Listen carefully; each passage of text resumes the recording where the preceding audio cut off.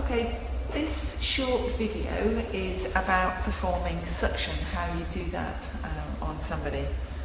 Um, key thing to remember is that you always pre-oxygenate and so what I'm going to do is I'm going to put this, uh, this person onto an oxygen mask once I've untangled it. It's a rebreathe bag, they should be getting 100%. So here we go, Sep. Some oxygen for you.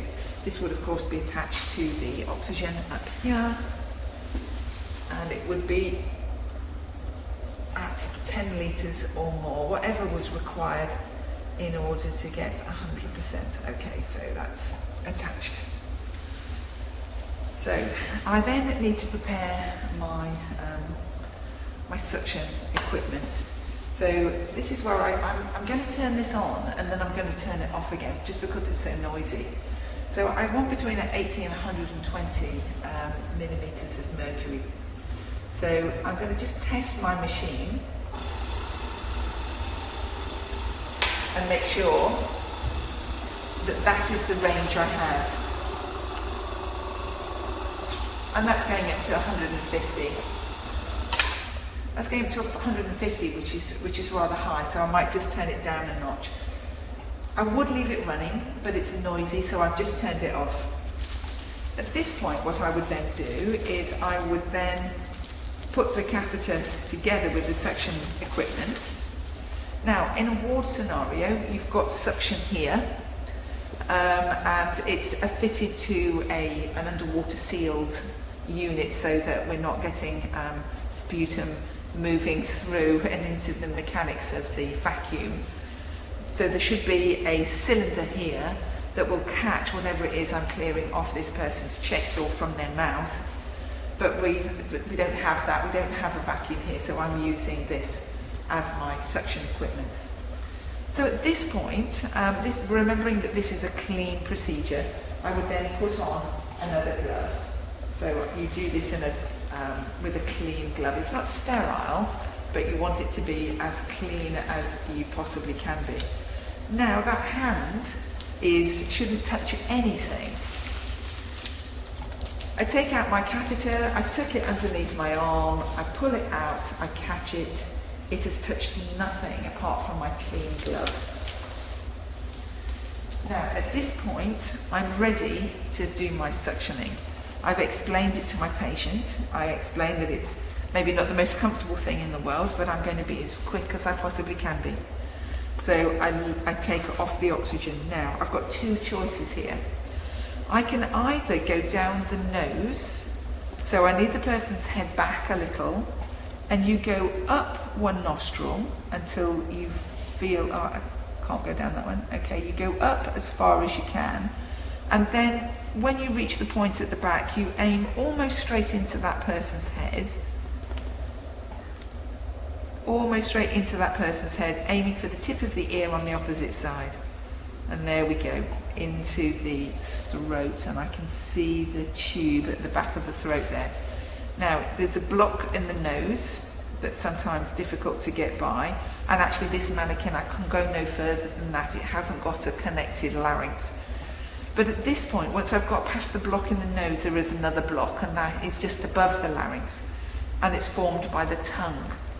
And, and so at this point I'd be saying, can you just try and cough for me? Just clear your airway a little bit so that it gives me an opportunity to go down into the open and unprotected trachea. Right, I can't go any further with this model, but at the point when he does cough or he does take a deep breath in, then I can slide in with my airway. Once I'm down as far as I can, and I'm sure I'm not touching the carina, then I can apply my suction and come out. And what will happen is you know you're in the right place because this person will cough a lot. And I need to come out very gently, just sliding that out, taking no longer than 15 seconds because basically he's coughing and not breathing in that time. Great. And then as soon as I've done, I put that back on and maybe I have an assistant here so I'm not right I'm not wiping my hand that is touched the suction catheter all over his face So I then take off the suction catheter and then I can dispose of it nice and neatly like that. Okay, so it's nice and clean. All right, there is, I have another choice though when I'm actually suctioning and I can go down using a Guedel airway. All right, this is, this is a Guedel airway. The size, uh, the size is one to four and this says it's two. You know you've got the right size for somebody when, if you hold the Guedel airway by their chin, it reaches the corner of their jaw. So you can see that this one is actually a little small and that this one, which is size 4, the biggest that we do, is actually much better. That's the size for this man. The thing that you need to really remember is that when you're inserting an airway, it goes in that way. The, the reason why we don't put them in that way is that if you catch the tip of the tongue, you can push the tongue backwards. So it goes in upside down to the middle of the mouth, and then you turn it around and slide it home. So it might be that, uh, I think when you're using an airway, it's much easier to have two people here. And to be honest, because of the uh, capacity for this to touch the, um, the sides of the throat, the pillars of fauces, at the back of the throat, and make people gag, then actually this is perhaps a technique that's better performed inside lying. So with some help, inside line, it might be that I insert that and then apply my two minutes or so of 100% oxygen to raise their sats. I might just reuse this so as I'm not wasting um, suction catheters. The thing to remember with METIman is that actually you can't go down all of the way. So um, I might just put my hand back in that. I need you to imagine that this is all clean. I'll just pop that back in. You would never ever do this in practice, okay? Um, so here I am.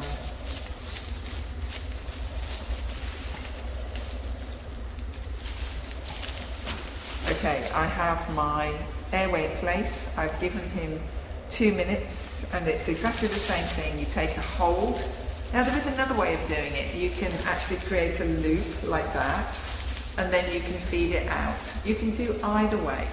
The only thing I'd say is don't drop these on the floor um, because uh, you, know, you, can, you can slip on them or other people arriving if you need help um, then they can slip on them. So it's better to, to look after them carefully.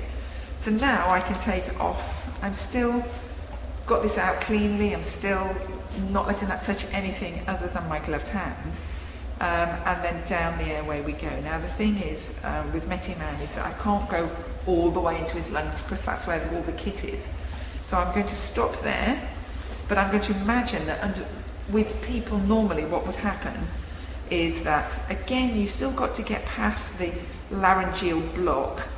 Um, you, tipping the head back a little bit might help. I get past the throat by asking them to take a deep breath, try and do a cough for me, have a good cough, and as soon as they cough, you can go down into the unprotected trachea. It should be open at that point. Uh, but because this is METIman, I can't go all the way down, but normally you would go down as far as you felt you could or until you met a resistance. Come away just one centimetre, and they're marked on here. You can see the gradings, the distance grading, so I can come away a centimetre and then apply my suction for again no more than 15 seconds coming out. You don't need to twist it, just pull it out nice and gently. And then as soon as you've done, we can reapply the oxygen. So I'm just going to let that sit there while I take this off. Same thing, wrap it around, pull it off and dispose of it cleanly. So those are the two ways in which you would actually suction somebody um, without um, one with a Guedel airway um, down the mouth. We don't normally suction um, just down the mouth because there is a tendency, that's it, just sliding that out. You don't need to twizzle it around when you're taking it out. You just slide it forward. The reason why we don't suction just like that is because they're, they're, people can bite on the tube and then um, you, you, get it stuck. I mean, it, there is something called a Yankauer sucker, uh, which is a hard metal um, uh, suction tube, the, the kind that you probably met in the dentist's. And you can just perhaps pop that to the back of people's throats to clear things out. Uh, but, um, but it's firm, it's rigid plastic, um, where these are rather softer. And the, uh, the tendency is for people to bite on them, and that's, uh, it's not good for them or you really, so, um, so we tend not to do that. Only go down the mouth with an airway. My, my preferred option is actually down the nose because um, it means actually that you can still keep giving them a little bit of oxygen while you're doing it. Um, you can put it nearer and also um, you, once you're at the back of the pharynx, you're right over the trachea, you're much more likely to actually not have it swallowed because that's what the larynx does really. It's the point at which things either go into your airway or into your stomach. And so um, you've, got, uh, you've got it much more poised in the right place at the back of the nose. The only difficulty is this block here. So you need to be careful of the size of the catheter you're using and your technique. Just go up as far as you can and then aim back. Uh, almost 90 degrees into the head of that person. So that's all I'm going to say about um, airways and nose, but there's one more thing, and that is uh, suctioning through an airway. I'm just going to put in this trachea, so back in, here's our, here's our space in METIman for the trachea tube. I'm just going to push that in. There it is, so that would be sitting nicely there, nice and sealed. Suction looks remarkably similar now, naturally, I can't, I need a trachea mask. And what I would do here, if there'd be a, there would be a mask that's fitted just for the trachea, a, a tracheal tube. So that would be applied. And I would make sure I turn it up to 100% before we actually did the technique.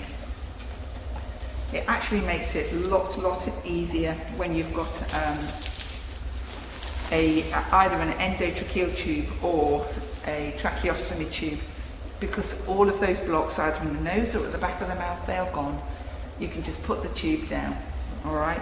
So um, it's exactly the same thing. I'm double gloved now.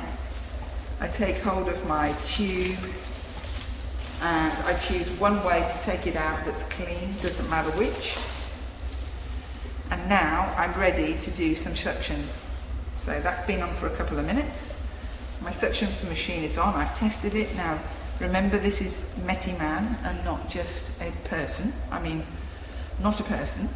Um, I can't go down as far with him as I would a normal person. So um, I'd, I'd normally be expecting to maybe use something like a hand span, hand span, so up to something like 20 centimeters, uh, but I will only put it down to about 10 so as I don't upset the mechanism. And then I would imagine that, that I've hit the carina, I've come away, and then suction. You never suction going up and down, never. Only ever suction on the way out. If you feel as if you've got something stuck, you can sometimes release the pressure and put it back on. Stay a little in the same place, but don't move it up and down. That can be very irritating. It can, what you've got here at the end are little holes um, and the mucosal membrane can kind of get caught up in those little holes and tear. Damage the lining of the airways if you're not careful. So down as far as you can to the carina, but for METIman only 10 centimetres or so. Then apply your suction gently and withdraw in less than 20 seconds. Yep, 15, 10 to 15 ideally. Okay. That is the end of the suctioning video.